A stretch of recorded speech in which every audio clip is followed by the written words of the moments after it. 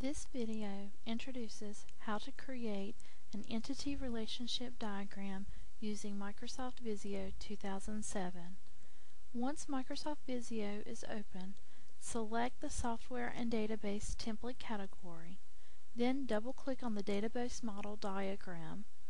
Next, we need to set some options to help our diagram look the way we want it with crow's foot notation and the ability to create many-to-many relationships. First of all, we're going to select the database menu from the menu bar, then select options, then document. We will check the option to show crow's feet notation, then click OK.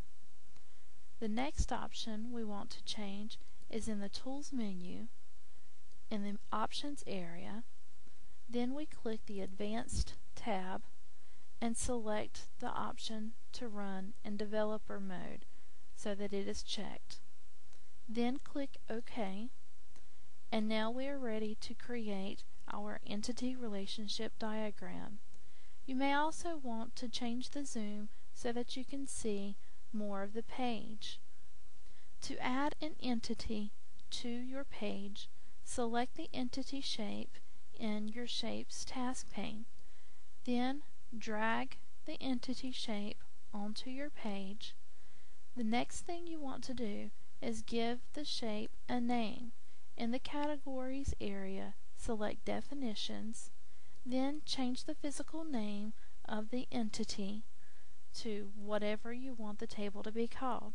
For instance, if we want to create a table named Employees, we would simply type in employees. Then we need to add fields to our entity. So we're going to select the columns category and begin entering in our field names. An employee would likely be identified by an employee ID. We can then select this column as our primary key field. Once that column is selected as the primary key, it is also marked in the table with a PK and the field is listed at the top of the table. Next, we can add additional columns or fields to our table such as first name and last name and hire date. We can also change the data type of our fields to match the type of data that will be stored in the database. Hire date would be a date time field. Then, if we have different types of employees in our organization, we may need to create subtypes for this relationship. So let's create another entity on our page and we can give this a physical name of salaried employees.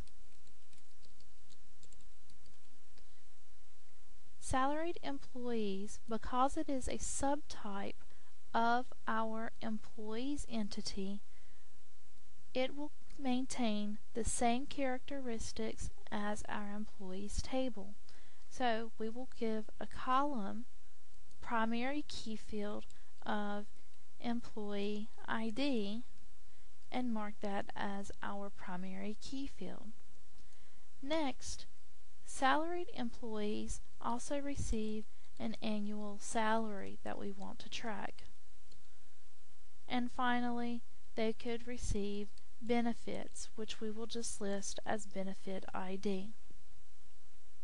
Another type of employee we may want to track is hourly employees.